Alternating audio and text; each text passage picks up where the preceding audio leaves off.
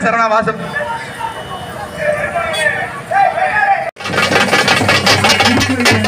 திருச்செந்தூர்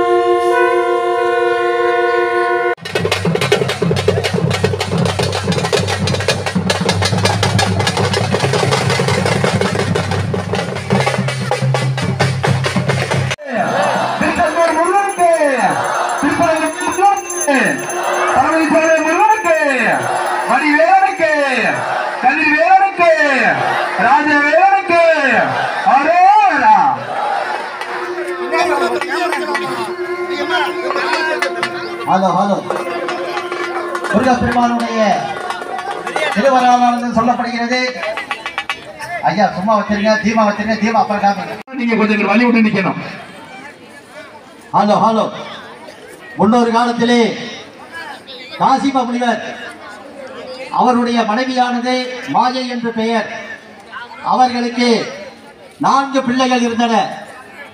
முதலில் சூரபத்மனான பிள்ளை இரண்டாவதாக தாரமுகாசூரன் என்று சொல்லுபவர் மூன்றாவதாக சிங்கமுகாசூரன் நான்காவதாக அசமுகி என்ற ஒரு பெண் பிள்ளை இருந்தார்கள். இவர்கள் வீர மகேந்திரபுரம் என்னும் நாட்டை ஆண்டு வந்தனர். இப்படி நடந்து கொண்டிருக்கும் காலத்தில் சூரபத்மனுக்கு ஒரு மிகப்பெரிய ஆசையானது வந்தது. என்னவென்றால் நாம் சாகாமல் இருக்க வரம் கடுமையாக தவம் புரிகிறார்.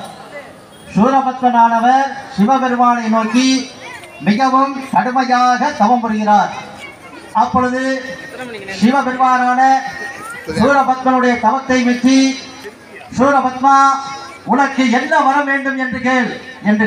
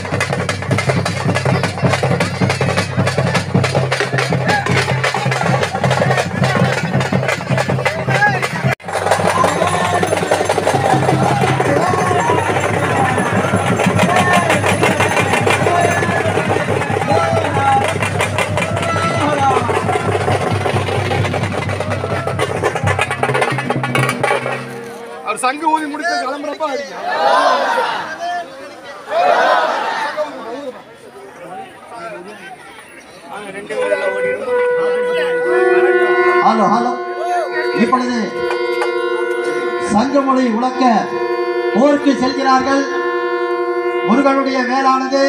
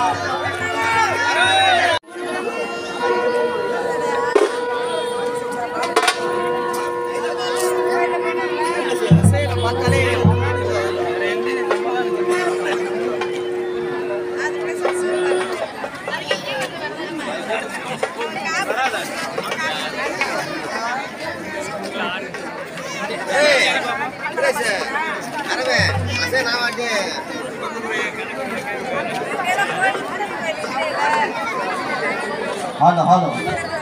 இப்பொழுது சூரபத்மனை சூரபத்மன் மிகவும் கோபத்துடன் எனது தம்பியான தாரகாசுரன் மாண்டுவிட்டானே என்று மிகவும் கோபக்கனவுடன் இருக்கிறார். அடுத்தபடியாக பார்த்தீங்கன்னா